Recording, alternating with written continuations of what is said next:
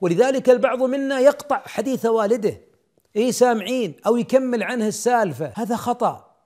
أيها الأبناء أيتها البنات تعالي لأمك وقولي نعم ذكريني كيف كانت ليلة زواجك وكم كان مهرك وتبتسم الله يخلف علينا فعلنا وفع والقصة محفوظة عندكم. لكن البار يستمع بشوق.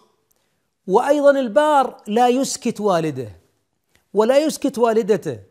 البعض منا نعم قد يخطئ الأب وقد تخطئ الأم وقد يكون هناك غيبة وتريد أن تسكتهما لكن بلطف بلين برحمة بإحسان.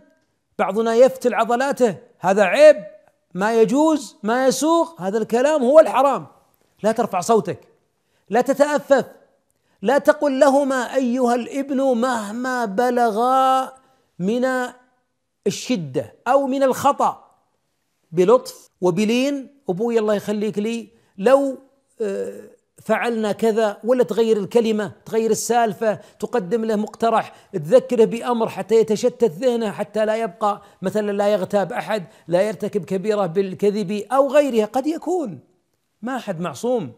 لكن إياك أن يكون عن تفلت أو أن تستعرض عضلاتك عليه لا تسكتهما.